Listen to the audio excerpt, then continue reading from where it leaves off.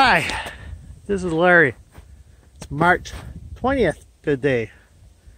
I'm out here in the woods trying to get some trees tapped and some of them are working, some of them aren't. You can kind of see one down that way, a blue bag. That one worked. Two more over by it didn't. Had what, one, I had about five over here that didn't work. I drilled holes, but nothing happened. Might be too early. This one's working.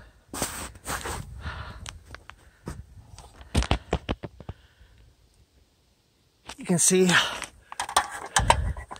So I got a few out. I thought I had more than I did.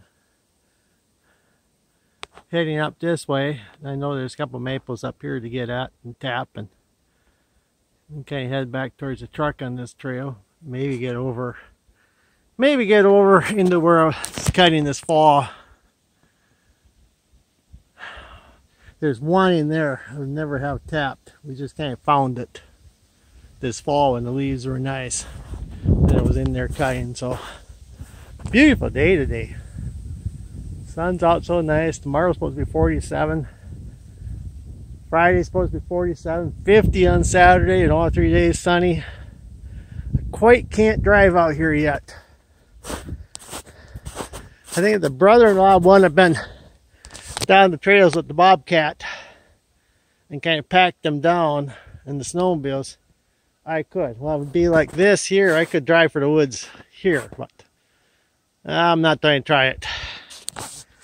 Okay. Thanks for watching. Maybe I shoot another one a little bit later. Who knows? Thanks. Please like, subscribe, and share. Thanks.